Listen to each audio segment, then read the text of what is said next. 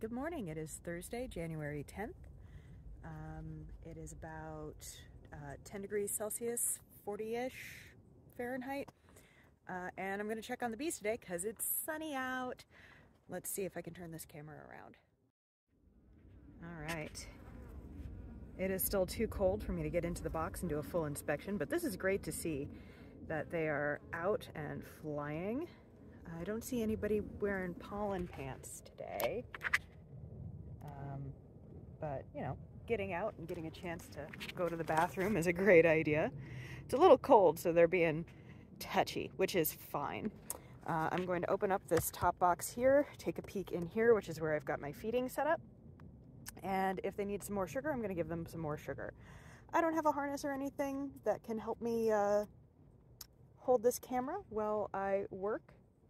So I'm just going to do the thing and maybe I'll show you once I've got it open. I don't like keeping it open too long while it's this cold out. Basically, if I've got to wear a hat, I don't want to go into my hive box, but I'll see what I can do. This is our insulation that we put on.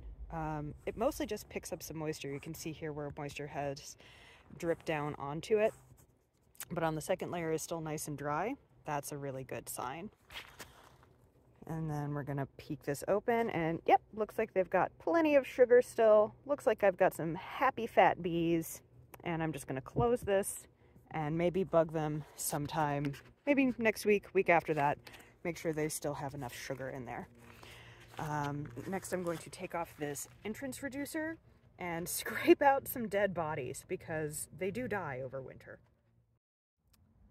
Okay, y'all, I am back at the asparagus bed.